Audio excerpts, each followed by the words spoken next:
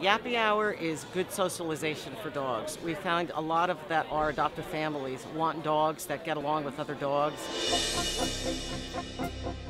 I'm Cathy Kittell. I'm the founder, secretary, and treasurer of Mid-Atlantic Bulldog Rescue of Belmar, New Jersey. I'm Debbie Delisa. I'm the manager of the Wonder Bar and operator of the Yappy Hour.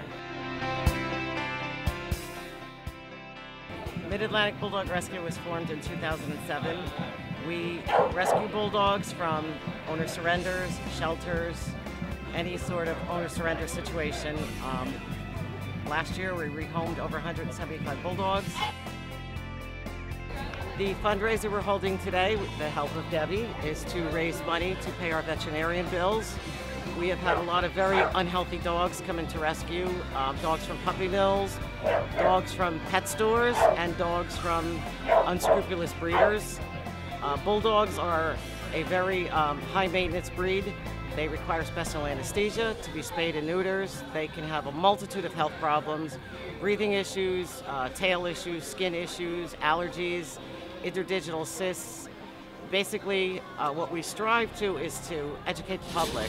Uh, people think that bulldogs are extremely expensive to buy as a puppy, and they are.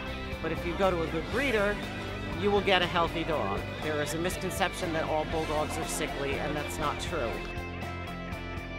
Mid-Atlantic Bulldog Rescue has been coming here for three years. Our first time that we hosted their benefit, it was such a big success that they asked if they could come back again.